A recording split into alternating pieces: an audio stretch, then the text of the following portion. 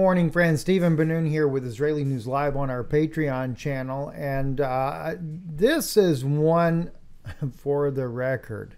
Uh, back in, let's see, let's go, let's go down. Three years ago is when we began to talk about uh, the asteroids, things like that. The meteorite belt being a larger concern than that of even Nibiru. One, one of the topics that we had covered here, this was on March the 16th, 2020. And uh, I'm going to play a little clip in here of this video here because uh, a lot of people felt like, well, nothing ever happened. And uh, of course, I began to think the same, other than I would be told that they that we do have, you know, you have to keep in mind the Earth is uh, I think what three fourths is water, and most of these uh, these meteorites that were hitting the Earth were hitting oceans, things of that nature. But what I didn't know is that we did have impacts on the Earth, very very significant ones that were being covered up by local authorities and try to suppress so that the world never knew about it. Uh, let me first play with play for you the March 16th, 2020 video because 10 days later, there's going to be an impact in Africa. And then subsequently, we've also found other impacts throughout uh, the time period before and even after where I spoke about this up in uh, the uh, the uh, permafrost region that uh, up in the North Pole area. So I want to first play this for you just as a reminder. And then I'm going to look at some of this information just to share that with is you. Is not the big issue. There is a thing that we called a meteorite belt. As it was said to me, that's the way you call it. So maybe there's something more to it in another realm of thinking that I don't understand, but that's really not the point. The point is there are objects that are going to strike the earth in the very near future. And it's actually in a near future in a way like you could never imagine.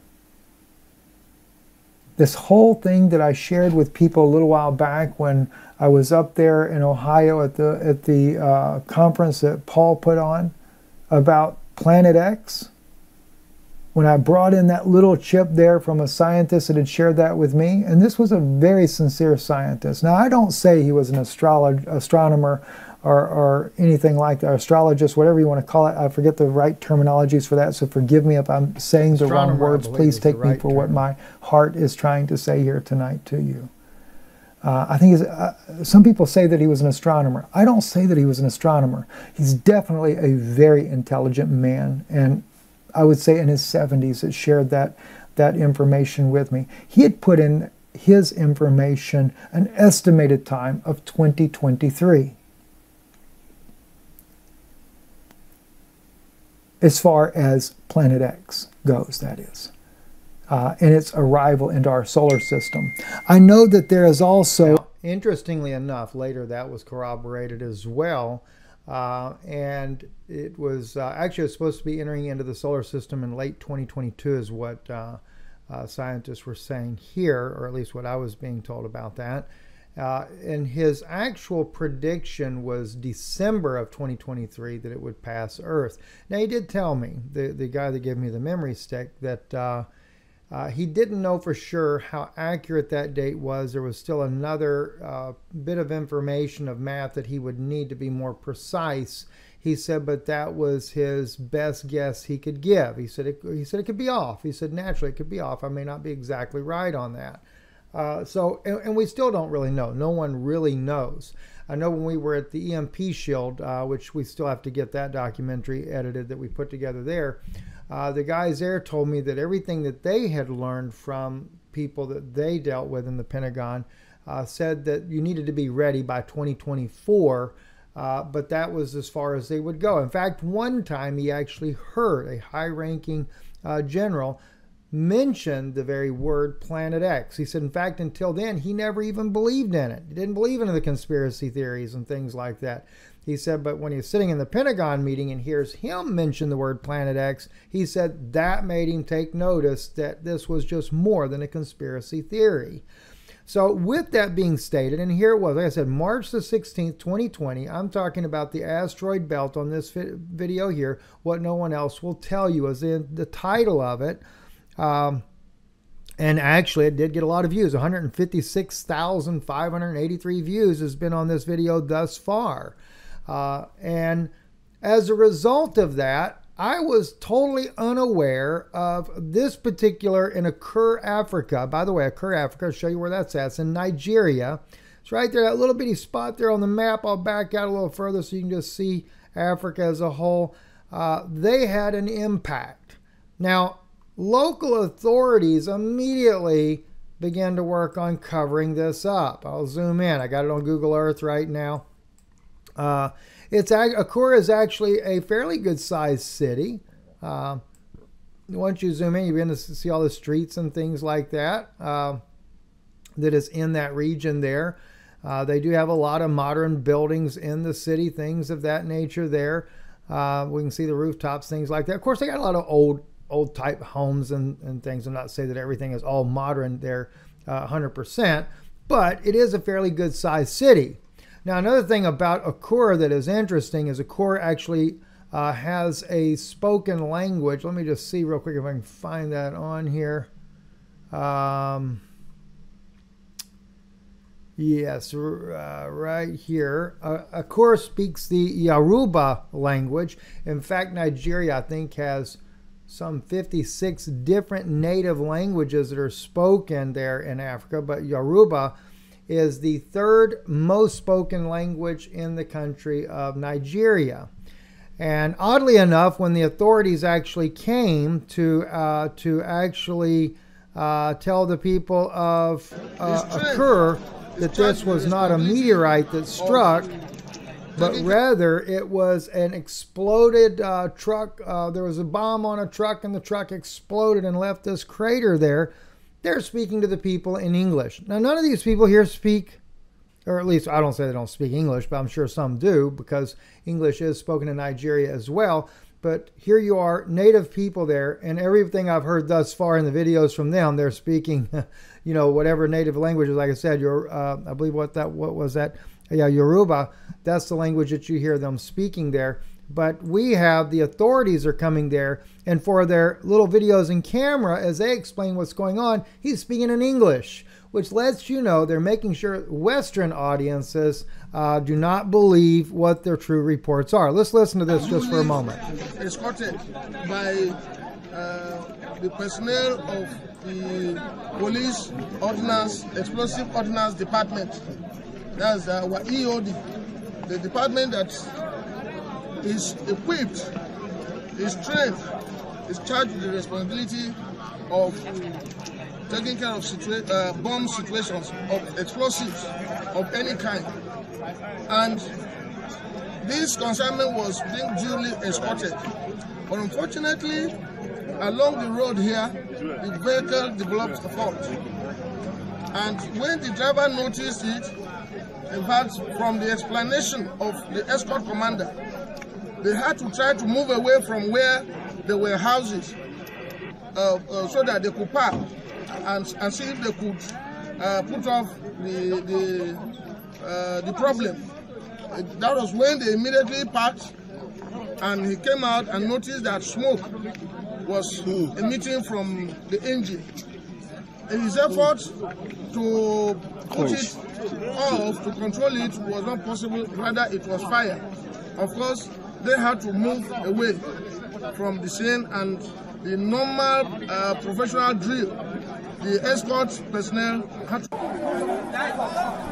So this was the fabricated uh, facts that, uh, or fabricated lie that the uh, the the military of Nigeria gives the people. Uh, the engine caught fire on their truck, and they had to move away because they knew it was dangerous because they were toting a bomb inside of the truck there. And of course, the bomb ends up detonating and blowing up this massive crater in Akure. Um, here is a actual photograph of that. Uh, let me see if I can't blow that up a little bit larger for you, and uh, so you can see this for yourself. Uh, it is, and and I've got a very well put together film on this, This thing is 25 foot deep, 70 foot across in diameter. It is a massive, massive crater. But not only that, you see the buildings in the background. Now, the walls are not blown in from a bomb blast, but the roofs are tore off. And we do find out that there was an eyewitness, 12:45 a.m. in the morning, uh, uh, that that actually witnessed the passing of the fiery object coming through the sky at a very fast rate of speed and hit the ground. Then uh, the uh, some of the local um, uh, uh, scientists from the university did determine that it was, in fact, an asteroid that hit the ground. I'm going to play this clip here from Skywatch Media News, and so you can see what they actually reported about this. They show a little bit of everything, and they have some very good information put together on this particular event here.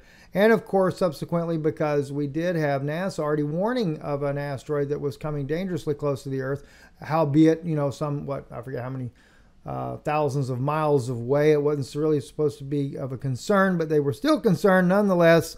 Uh, and of course, this thing hits at that time anyway. Listen into this. The governing body of Ondo State almost succeeded in convincing suspicious residents of the city of Akur that the massive explosion was just an accident.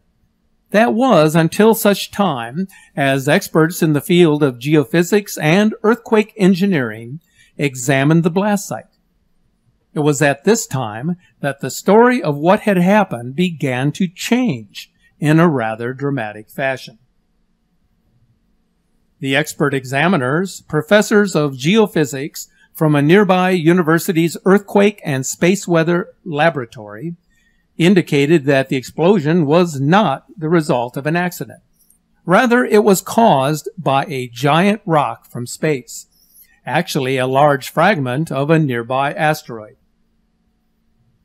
According to the investigation of the blast site and using preliminary calculations, the experts concluded that a large rock had impacted the location, hitting the Earth at an angle of 43 degrees. In essence, it was a natural phenomenon, not an accident. Their preliminary findings were in line with an actual eyewitness account that took place at around 12:45 a.m. local time on the morning of March 28th, where a nearby resident sighted a huge flying object traveling at tremendous speed above them. Within a few seconds, an explosion was heard in the distance, as buildings began shaking. The expert examiners further elaborated on the investigation of the blast site in a manner that was contradictory to the explanation of explosive detonation given by the governing authorities. According to the experts, there was no evidence of a buried vehicle or buried explosives from the site. Upon further examination, a number of foreign rocks and strange metallic objects were discovered within the crater, which begs the question of whether there was the presence of asteroid or meteor fragments. A research group carried out a detailed analysis of the impact site. They established that the impact crater was circular with a diameter of nearly 69 feet and with a depth of more than 25 feet. This would suggest a natural phenomenon. The group also discovered that there was water oozing from the edges of the impact site, but there was no evidence of a fire or any burning or radioactive materials. The impact of the blast covered a one kilometer, 3,280 foot radius of the crater surroundings. Therefore, their conclusion is that a large meteor from the asteroid belt traveling at a great speed impacted the location at an angle of 43 degrees, which created an ejecta-blast zone that caused roofs to collapse and walls to give way to numerous structures. The meteor impact event in Akur is reminiscent of the Chelyabinsk mid-air explosion that took place in February of 2013 an extraordinary event that released 30 times more energy than the Hiroshima bomb, while damaging more than 7,000 buildings. The visualization in the aftermath of what is being one of the things that I'd say there, uh, in light of the one that hit Russia, there is that it came in at a far less steep of an angle, and therefore it covered a far greater uh, area of devastation. If you look at the uh, photos and stuff, and I think even in his uh, uh, presentation, he'll actually show some of that in there the the buildings, of course, from the blast site. In fact, including even this trench right here that comes down through there. Uh, that's just a shock wave uh, knocking a huge. In fact, I've seen a different footage of photo of that. You know, that thing is at least about eight nine feet deep. Uh, and that's caused from the shock wave of this rock coming right over before it actually impacts the earth there. Um, it is just massive in scale there. And then the buildings, uh, most of them, especially uh, when you go back at a little bit further distance, and let me kind of pull that up for you. You can see the buildings even in the background here. Uh, but uh, most of the buildings here that are damaged as a result of this thing here uh, are uh, the rooftops. Um, and and of course, uh, that would be consist more consistent uh, as this uh, this particular um, asteroid comes over. Look, look at that. Look, look at just some of that. Just even in this video footage here, you know, you got you do have some walls and stuff, but again, even those walls there, those walls there that are that are knocked out, that follows the actual uh, shockwave trench itself that was caused. There's that there's that trench right there. Look at the look at the size of the trench of this thing right? Now, if a bomb were to went off, a bomb is not going to create this, what, probably 200 meter long trench as well. This, this is like nuts, right? Uh, and it looks to be about seven foot deep.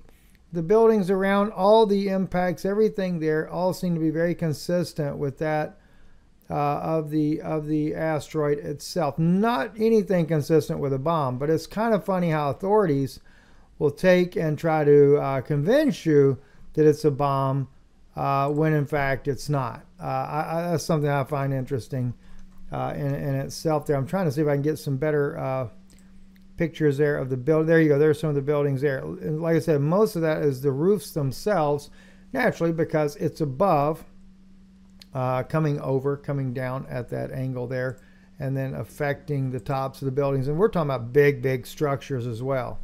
Um, uh, you know, that, that, that, show this on there. So I, it was very fascinating. And of course, and even with all this, there's not a lot of information out there. That was nothing I thought was interesting. There is a lot of, you know, like I said, you know, a lot of this just ended up getting covered up. This is one of the larger buildings right here, and it's mainly roof damage. I mean, but yet uh, now it does it is using a metal roof, but it does have all the steel trusses inside on this building right here. Totally just ripped completely off. Uh, they got tarps over these buildings in the back here. Uh, you know, very serious damage that was done, and of course, a very very large impact. Well, I. I didn't do a whole lot. I wanted to be able to share this with you guys, but I didn't get to do a lot of research afterwards. But I did do some more research one of the other things that I ran across that I thought was interesting is also the uh, PBS on Nova. They were talking about um, uh, these impacts that happened in the tundra region, or up there in the um, uh, I call it North Pole there, and they're calling them giant sinkholes. But yet, there has already scientists have already been discussing too. They thought this could be actually an asteroid impacts as well because of the way the blast is. But much like that of uh, uh, the situation, uh, and this is in the Arctic region. Look at them. I mean, it's just amazing. Circular holes once again, and some of these are 70 foot deep. And uh, but they're saying that uh, later they decide that oh, methane gas is just blowing up underground, is blowing up and blowing up nice round holes. If methane gas was blowing up, why would it always be round holes? Uh, why not why why not maybe oblong holes if it's methane gas? Why is each one of these uh, sites like this very similar to that of a asteroid impact instead? There you go. There, there, there, there's your good example right there. No different than what we see down there in Africa where you do have eyewitnesses of the object coming in. This region here, there are no eyewitnesses because you're out in the middle of nowhere. Um, but again, very reminiscent of what an asteroid would do. And they knew they couldn't just up and explain it as a sinkhole. If you ever see anything about sinkholes, sinkholes, when they happen, like in this case here, watch this here. You got the ground caving in, sinkhole goes down. In every case of a sinkhole, there's none of that heaped up dirt around it. It just everything falls in and it's nice, smooth, smooth edges there. Uh, just like in all these cases where they're showing the sinkholes that are popping up around the Earth. And um, uh, and of course, we do know we've talked about those things as well. More and more, you're going to see that. Uh, there's a lot of geological changes that are happening. The Earth is receiving in so much radiation. That's another thing that we did in that video here. We was talking about the the the radiation that's coming in uh, from space, from the sun, etc., that's affecting the Earth. Uh, a lot of that reminiscent, uh, or, or, a lot of that is effects of the binary system at a distance coming in that's affecting the sun, which in turn is affecting the Earth. And we're going three years ago, we were sharing that information with you already. Um, but as we get into this here, and here we go here, CNN News again, they're trying to explain it to massive sinkholes and, and things like that. But again, uh, it's, it's just too strange. And and in that video there of Nova, one of the things that they do bring out, and let me get to the right spot in the video for that. Um, I forget exactly. Uh, we'll, have, we'll take a guess at it here. Um, but one of the things they bring out, they ended up finding, uh, I think it was a total of eight of these impacts like this in the region there. More giant craters are discovered. And but but again, they immediately they're wanting to get everybody convinced that these craters are caused because methane gas blew up. Uh, and all right, here's where they're going to show you the impacts. Watch there. Look there. There you go. Uh, one, two, three, four, five, six, seven, eight of them. There is what has hit in that region right there in the area uh, close to what they call Yamal, um, and that's kind of like the end of the earth, as the natives call that uh, up in Russia there. So uh, I think it's a bit suspicious.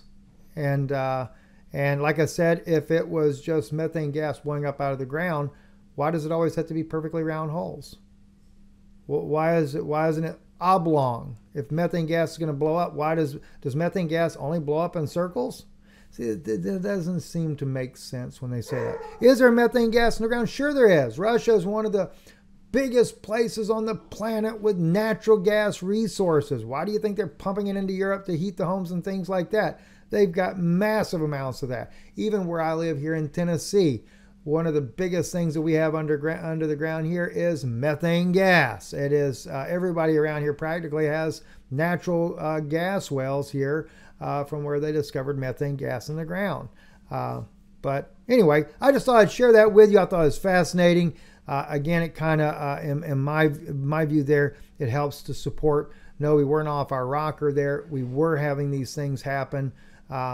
You know, what's to say that's coming in the future? I know there's still a lot of talk about it. I don't normally get into it too much at, at this point right now, uh, but uh, but I am aware, you know, that things are supposed to happen still yet. And again, I still feel like it's like this type of situation here.